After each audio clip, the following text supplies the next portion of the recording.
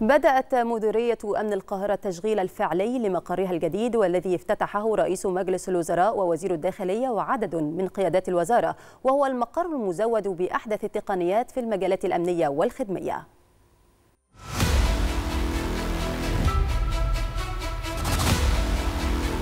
افتتاح وبدء التشغيل للمقر الجديد لمديرية أمن القاهرة. جاء ضمن خطة متكاملة للتحديث والتطوير تنتهجها وزارة الداخلية. لتواكب متطلبات العمل الأمني.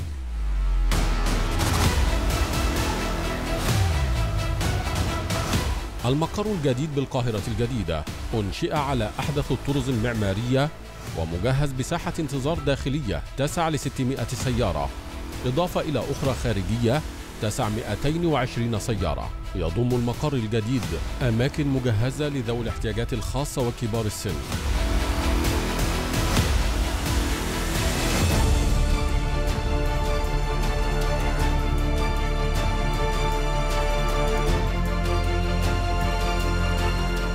المقر الجديد مزود بأحدث الوسائل والتطبيقات التكنولوجية من أجل تقديم خدمة أمنية عصرية للمواطنين وهو ما بدا واضحا في غرفة إدارة الأزمات المجهزة بمنظومة متكاملة من كاميرات المراقبة المنتشرة في الشوارع والميادين لمتابعة الحالة الأمنية على مدار الساعة.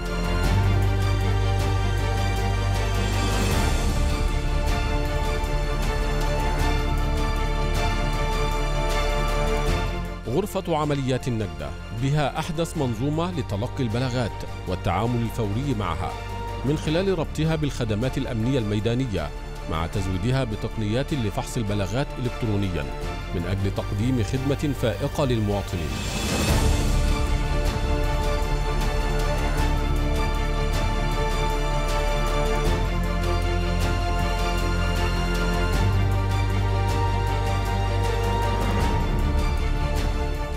ويضم المبنى غرفة المراقبة الأمنية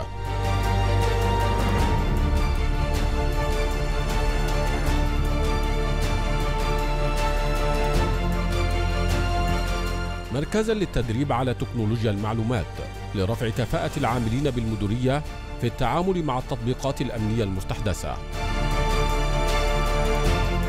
مركز إعلامي متطور تم دعمه وتزويده بأحدث الوسائل لرصد وتحليل شكاوى المواطنين والتعامل الفوري معها.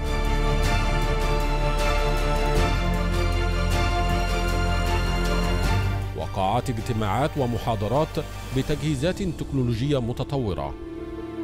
الصرح الجديد لمديرية أمن القاهرة إنما هو انعكاس لمنظومة التطوير والتحديث الشاملة التي تنتهجها وزارة الداخلية للارتقاء بمعدلات الأداء الأمني وبما يتماشى مع التطوير الشامل الذي تشهده البلاد نحو بناء الجمهورية الجديدة.